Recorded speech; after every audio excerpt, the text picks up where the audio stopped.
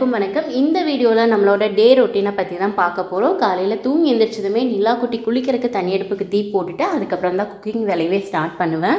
கரெக்டாக குக்கிங் வேலையை முடிச்சதுமே நிலா குட்டியை எந்திரிச்சிடுவேன் எந்திரிச்சதும் ப்ரஷ் பண்ணி விட்டுட்டு ஃபஸ்ட்டு குளிச்சு விட்டுருவேன். காலையில் பாலோ இல்லை கூழோ இந்த மாதிரிலாம் எதுவும் கொடுக்கறதில்ல. டேரெக்டாக குளிச்சுட்டு சாப்பாடு ஊட்டி விட்டுருவேன் வேறு நிறையா.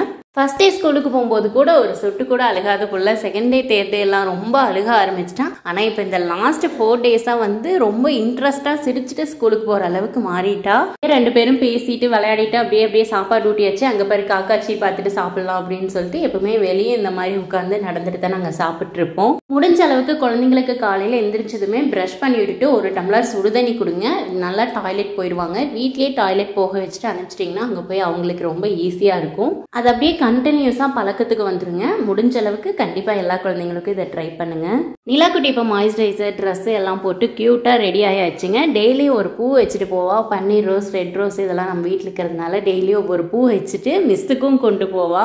நம்மளும் சின்ன வயசில் இந்த மாதிரி டெய்லியும் மிஸ்ஸுக்கு பூ கொண்டு போகிறது ரொம்ப பிடிக்கும். இன்ட்ரெஸ்டாக கொண்டு போவோம். இப்போ நாளாக யாரும் இந்த மாதிரிலாம் கொண்டு போகிறது கிடையாது.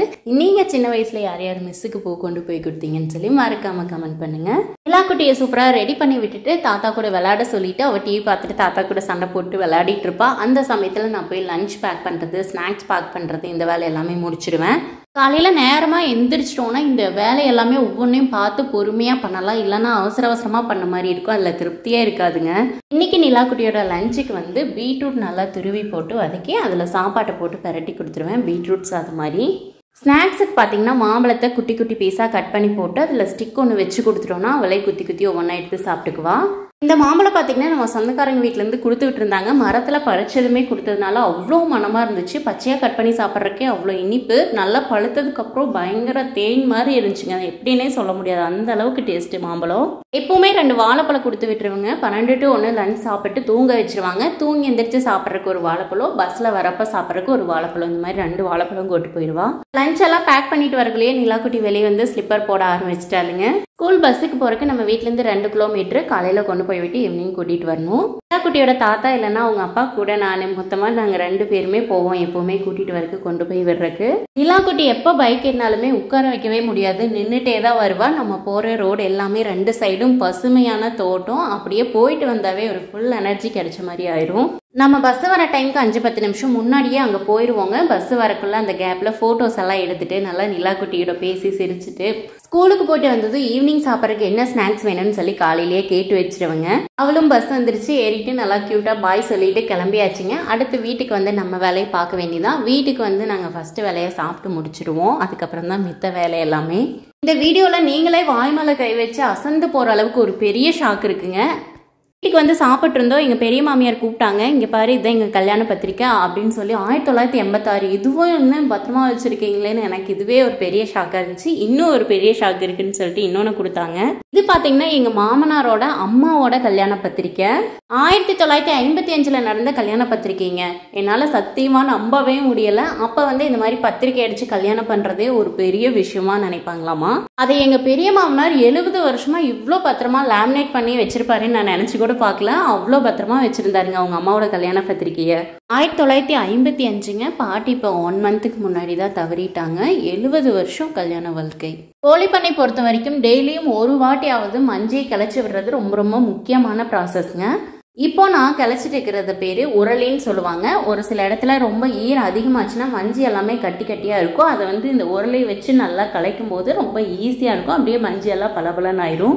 கோழிப்பண்ணை பொறுத்த வரைக்கும் மஞ்சி ஈரமாகாமல் பார்த்துக்கணும். ஒரு சின்ன இடத்துல கூட ஈரம் இல்லாமல் இந்த மாதிரி கிளச்சி விட்டுட்டே இருக்கும்போது அடியில் இருக்கிற வரமஞ்சி எல்லாமே மேலே வந்து கோழிகளுக்கு வந்து படியே வெது வெதுன்னு இருக்கும். பண்ணையில் போட்டுக்கிற மஞ்சு ஈரமானா மட்டும்தான் கோழி பண்ணையில் ஸ்மெல் வருங்க. அதர்வைஸ் கோழி பண்ணையில் ஸ்மெல் அடிக்க வாய்ப்பே இல்லை. அந்த மஞ்சி மட்டும் நனையாமல் பார்த்துக்கிறது ரொம்ப முக்கியம். இப்போ பார்த்தீங்கன்னா கோழி குஞ்சுகளுக்கு பன்னெண்டு நாள் ஆச்சு. இன்றைக்கி வந்து பன்னெண்டாவது நாள் ஒரு குட்டி போர்ஷனில் இருக்கிற கோழி குஞ்சை வந்து நம்ம எக்ஸ்டெண்ட் பண்ணுறோம் அதாவது அடுத்த போர்ஷனுக்கு மாற்றி அதுலேருந்து கொஞ்சம் எக்ஸ்டெண்ட் பண்ணிகிட்ருக்கோம் அதுக்காக தீன் டப்பாவெல்லாம் எடுத்து அடுத்த போர்ஷனுக்கு மாற்ற போகிறோம் இல்லையா? அந்த இடத்துல எல்லாமே லைனாக வச்சு கோழி குஞ்சுகளை அந்த இடத்துக்கு நம்ம ஓட்டிட்டு போயிடணுங்க. மொத்தம் ரெண்டு பண்ணைங்க. ஒவ்வொரு பண்ணையிலையும் ஒரு ஒரு கோட்டில் வந்து வெடை ஒரு கோட்டில் வந்து சேவல். அந்த மாதிரி ஒரு பண்ணையிலேயே வந்து சேவல் வெடை ரெண்டுமே விட்டுருப்போம். இப்போ வீடியோவில் எக்ஸ்டெண்ட் பண்ணிட்டு இருக்கிற மாதிரி இதே மாதிரி ஒரு பண்ணையில் வந்து ரெண்டு போர்ஷன் மொத்தம் ரெண்டு பண்ணையில் நாலு போர்ஷன் அது நாளையுமே வந்து எக்ஸ்டெண்ட் பண்ணணுங்க.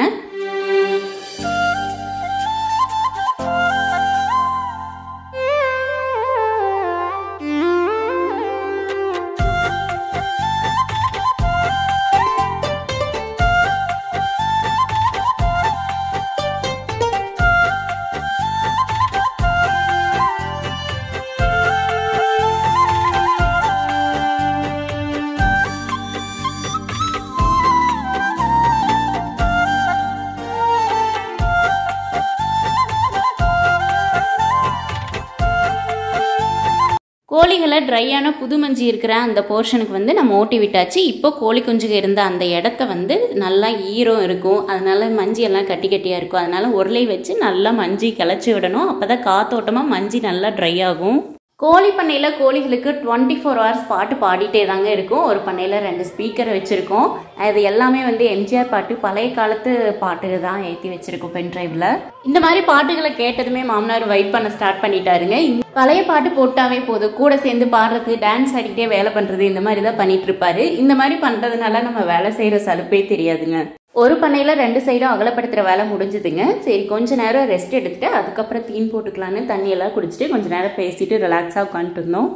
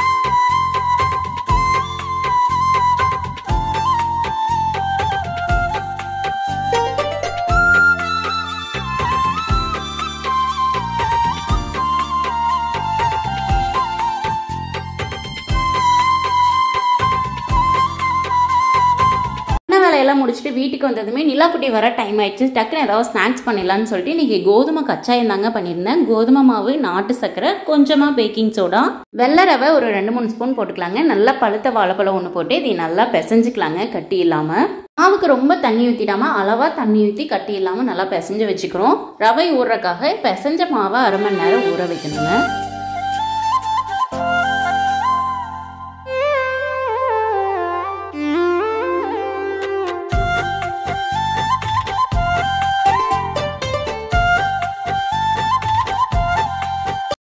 போடுறக்குள்ளே நிலாக்குட்டி வந்ததுமே ஜூஸ் கொடுக்கறக்காக ரெண்டு ஆரஞ்சு கட் பண்ணி ஜூஸ் போட்டு வச்சுட்டேங்க.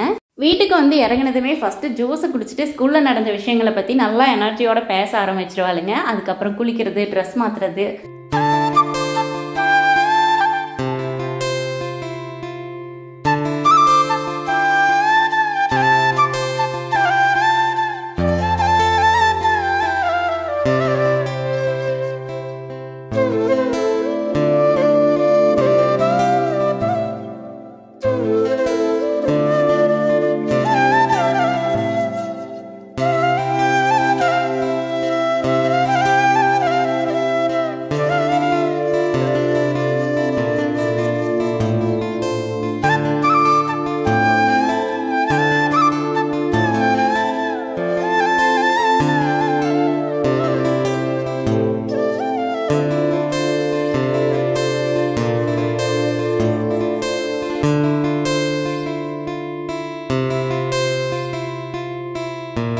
இந்த கச்சாயை கோதுமை மாவு நாட்டு சக்கரை வச்சு பண்ணுறதுனால ஒரு குழந்தைங்களுக்கு ஈவினிங் ஸ்நாக்ஸாக கொடுக்குறக்கு ஹெல்த்தியான ஒன்றுங்க கச்சாயம் மேலே வந்து நல்லா கிறிஸ்பியாகவும் உள்ளே நல்லா சாஃப்டாகவும் இருந்துச்சு. சாப்பிட்றதுக்கு வந்து ரொம்ப டேஸ்ட்டாக இருந்துச்சுங்க.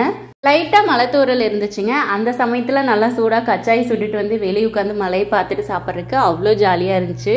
எல்லா குட்டிக்கு முல்லைப்பூ மல்லிகைப்பூ இதெல்லாம் ரொம்ப பிடிக்கும். அது பின்னாடி தொங்குட்டு வைக்கிறதுக்கு ரொம்ப பிடிக்கும்னு சொல்லி இப்போல்லாம் பூ கிடைக்குதோ அப்போல்லாம் நான் அவளுக்கு கட்டி வச்சிருவேங்க. முல்லைப்பூ கொஞ்சம் இருந்துச்சுன்னு கட்டி வச்சுருந்தேன். மேடம் வந்து அழகாக ரெடி ஆகிட்டு பூ வச்சுட்டாங்க.